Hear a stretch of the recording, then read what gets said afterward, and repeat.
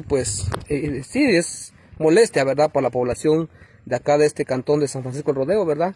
Que pues nos hicieron la invitación para poderlos venir a, ver lo que pasa en ese tema de, de la empresa, pues hizo un convenio, y según el convenio es de que les iban a poner postes de concreto y, pues ya lleva un año, ¿verdad? Sin, sin ese, ese compromiso, o sea, la empresa no ha cumplido. Así que dejamos ver, ¿verdad? Ahí se ve, es un poste de conocido como Laurel. pues ya se ve, ya pues cierto, ya se ve que que se ha quebrado. Entonces, eh, así que ya, ¿cuál es su mensaje usted de último hacia la empresa? ¿Qué le pide entonces?